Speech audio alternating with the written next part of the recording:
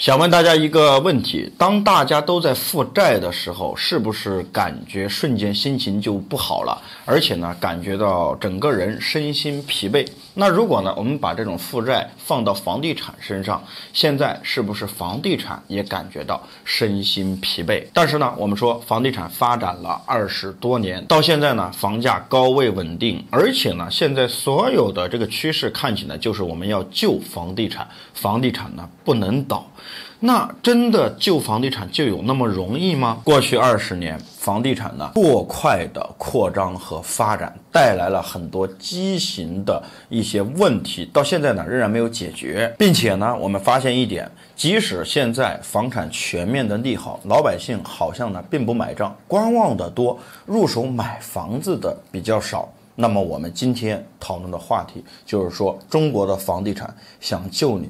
不容易，至少呢有三个问题呢没有得到彻底的解决。我们具体来分析一下。如果大家有什么不同的意见呢，都可以在评论区进行留言互动。首先呢，我们要搞清楚为什么我们现在要救房地产，因为在过去的二十年，从一九九八年开始，房地产改革了，房产成为了商品，能够自由的买卖。随着城市化率的推动，随着人口大量的进城，我们的房地产。主导了我们经济的发展，到现在为为止，房地产已经深入人心，影响了百分之八十的其他行业，间接的也影响了众多的民生，并且呢，我们大部分的财富又集中在这个房产上面，所以房地产如果倒了，那是不敢想象的，有可能会像上个世纪三十年代的美国，也有可能像上个世纪九十年代的日本，但是最终我们因为房地产的体量太大，如果硬着陆全。面的崩盘，那么我们的经济就会发生倒退，百姓民不聊生，这是谁也不愿意看见的。所以，我们现在要救房地产市场。那么，在救的这个过程当中，为什么我们说异常的艰辛？那是因为呢，有很多根本的问题没有解决。这些根本的问题已经触碰到了老百姓的民生，触碰到了老百姓最底层的利益。那当然救起来就没有那么容易了。那首先呢，第一个现实的问题就是目前楼市的钱怎么把它填进去？什么意思呢？就是现在楼市有负债。这个负债呢是多方面的，有三个方面具体的表现。第一个呢就是我们开发商的负债，开发商在过去二十年呢玩的三高模式，导致到现在负债累累，甚至可以说资不抵债。近两年来呢，我们可以看到很多头部的开发商啊出现了负债，甚至呢已经资不抵债了。这种情况下，房地产可千万不能倒。为什么呢？因为这些负债呢都是透支了。千千万万个老百姓，千千万万个家庭。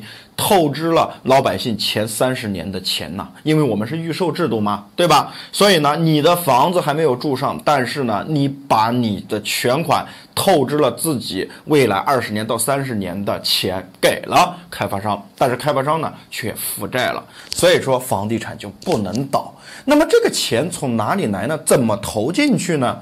之前呢，我们房地产的发展呢，可以通过这个大量的拆迁。对吧？可以呢，通过炒房这个钱呢流入到房地产市场，也可以通过呢银行的一直放贷进入到房地产市场当中。但是现在我们不拆迁了，棚改变旧改了，老百姓变得理性了，不再把钱投入到房地产市场当中了。所以现在呢。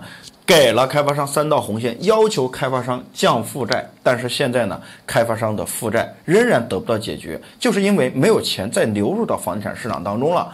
所以呢，我们可以看到，从二零二二年的下半年啊，全面的放松楼市，给了楼市三支利剑，发布了金融十六条，降低了首付，降低了利率，放开了户口限制等等一系列的措施，但是好像现在普通老百姓无动于衷啊，观望的多，买的少。那么这个钱怎么样能够把这个窟窿给填上去，就是呢很大的一个难题。那么第二个呢，就是我们要说到这个银行的这个法拍房怎么解决？法拍房是怎么形成的呢？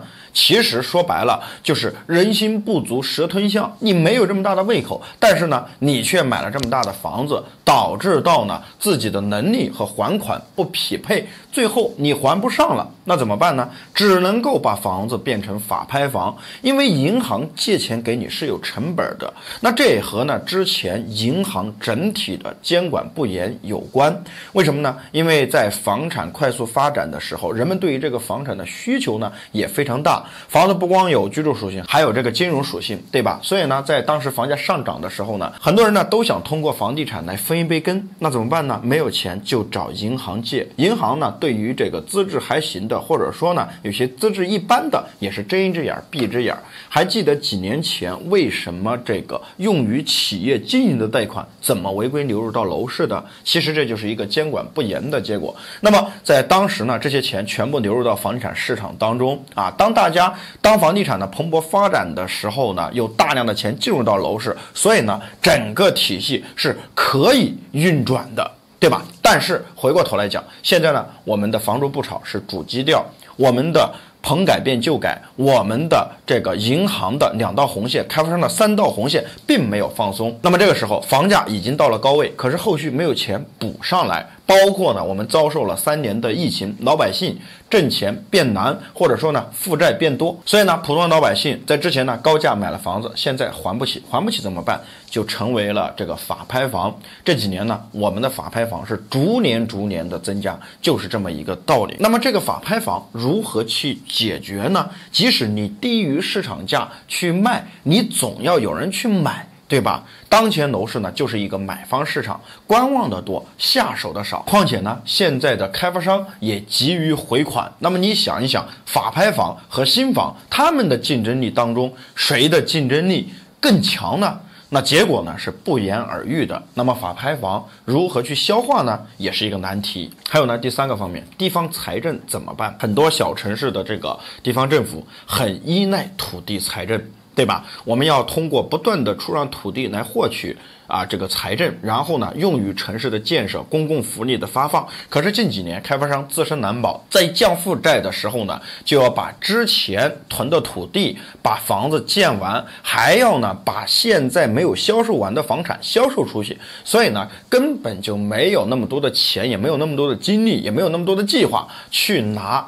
新的土地，那么这个时候呢，就出现一种情况，地方政府的这个土地拍卖呢，这个过程比较缓慢。那么这个时候，你想一想，那财政从哪里来呢？我们之前也说过房地产税，但是现在呢，也没有全国普及，也没有呢代替目前的土地财政。所以这个钱怎么解决，就是第一大的现实问题。第二个现实问题呢，就是目前我们楼市不公平的销售模式什么时候能够改变？不公平的销售模式呢，主要体现在两个方面。两个方面呢，第一个方面呢，就是我们说到的这个。预售制度问题，第二个呢，我们就说到的公摊问题。我们分别来说，预售本身是一个好事儿，那我们可以理解成呢，就是集中力量办大事儿。在一九九八年房产放开改革的时候呢，当时确实大家都没有钱，而且呢，这是一种新模式，也不知道怎么办。那么我们当时呢，引进的是这个香港的预售模式。那什么意思呢？就是说呢，我们可以呢付很少的首付，由银行呢替我们出剩下的钱。我们只需要付利息就可以了，相当于呢这个房子还没有建，那我们呢就把钱全部给了开发商，开发商这个时候有了钱，就迅速的把房子建好，然后交付到购房者的手中，这样呢就是一个皆大欢喜的局面。开发商呢有钱建房子了，那也赚到利润的同时呢，就可以再拿地再建房子卖给购房者。那购房者呢通过银行的贷款提前买了房子，我只需要呢每一个月付一点点利息就可以了，不影响我的生活，但是我提前住到了房子。对银行来讲呢，就是我把钱放出去了，市场活跃了，那么我也收到相应的利息了，那么我整个金融行业呢也发展了。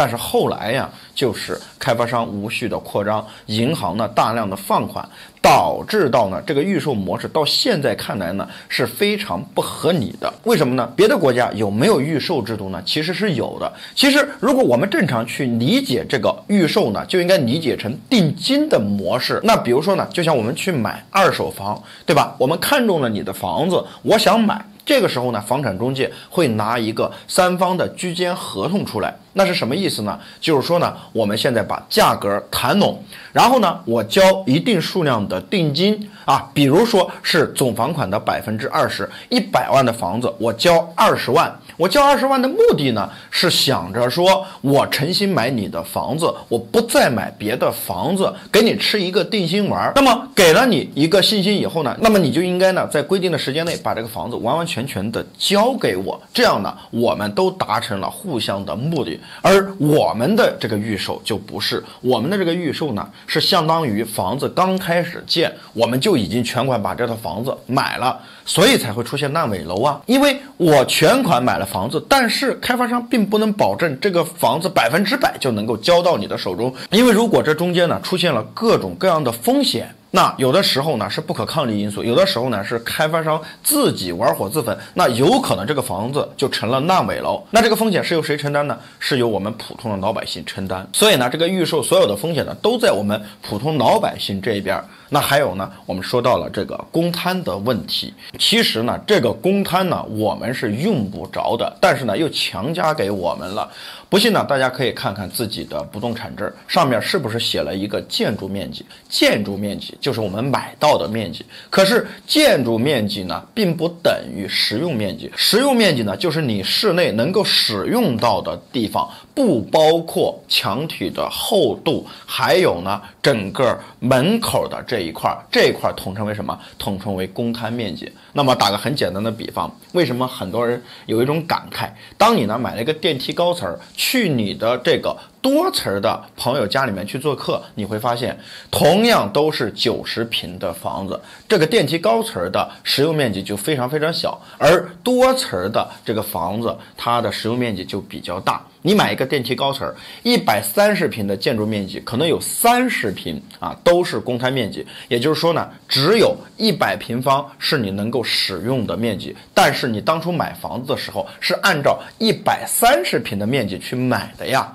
那么这三十平的公摊啊，你能够看得到，开发商也会告诉你啊，比如说电梯井啊、楼道啊、消防通道啊，这个还有呢整个。门口的这个大厅呐，等等等等，都可以呢算上公摊。可是你有没有仔细去量过？这只是我们听到开发商说我们有多少的公摊啊？我们在百分之十以内、百分之十五以内、百分之二十以内，这是一个很模糊的概念。对吧？你想一想，如果开发商每一套房子跟你多说两个平方的公摊，你会在意吗？你根本也不会认真去研究去量。那么这个时候，这个钱就让开发商赚走了。每一户多出来两平方，那整个楼盘多出来多少平方？一平方，假如在大城市一万五一平方，你算一算，整个楼盘又多出来多少钱？所以呢，我就说到，这是我们不公平的销售模式。什么时候预售能够变成限售？什么时候取消公摊？我觉得呢，这才是对我们普通老百姓买房最大的诚意了。还有呢，第三个方面的问题。我们的房价什么时候能够回归理性？当然呢，房价呢也不可能走极端，对吧？不能够呢像之前有些人预测那样，我们要涨成天价。未来呢，这个北京的房价是五十万一平，上海的房价一百万一平，那叫痴人说梦。还有的人认为呢，这个房价可能会变成白菜价，对吧？变得呢，我们大家都能够买得起，这也不现实，因为它违背了我们房产发展的逻辑，这也不是房地产健康发展的一个模式。我们说到的是回归理性，就是说我们的房价收入比什么时候能够回归到一比五、一比六的年代？当前呢，房价收入比非常非常高，而且呢，我们的财富相对来说比较集中，大部分呢都集中在房地产。你想一想，你周边的朋友是不是他挣的并不多，可是呢，他有两套房子的房贷，为什么他还在拼命还呢？因为他觉得我两套房贷还完了以后，我实打实的拥有了两套房子，未来我变现也好，我留给后代也好，总之呢，我不会像之前那样我没有房子那样有压力。对吧？这是一个希望。房价现在呢，就是一个很矛盾的东西，它不敢涨。为什么不敢涨呢？因为涨多了，很多人买不起；涨得太多了，房子就变成了有钱人之间的游戏。那么谁买？谁就成为了韭菜。即使你拼了命的买，你也会呢成为韭菜，你把你自己呢给套牢。所以呢，你涨价太高啊，我们是买不起。那如果呢，我们把房价往下降呢，那就造成了没人买的结果。当前我们说过，我们的这个百分之九十六以上的城镇居民都是拥有房子的，他根本不缺房子，对吧？你房价越降，又就意味着我们之前高价买的房子每天都在贬值，谁敢去买房子呢？为什么我们一直在讲的房子就是呢？这个买涨不买跌就是这么一个原因。好了，还有呢，我们现在的鼓励买房，对吧？我们放开了所有的限制，但是有没有想到一点？为什么现在很多人观望？那是不敢买。为什么不敢买？谁也不知道未来的房价还会不会继续下跌。那么很多人会认为呢？我在不缺房子的情况下，我现在买了，是不是又成了像之前那样的一个接盘侠，对吧？因为毕竟我们的收入是有限的，你的房价呢，今天可以涨，明天可以降，甚至呢后天又可以涨。只不过呢，要根据形势。可是我们的工资是实打实的，没涨多少。所以呢，人们在买房子会更加理性，也更加的谨慎。那么当前呢，我们楼市这三个现实的问题没有得到彻底解决的情况下呢，救楼市就显得没有那么容易。还有呢，更长的路需要走。好了，今天的视频就讲到这里了，我们下期视频再见，拜拜。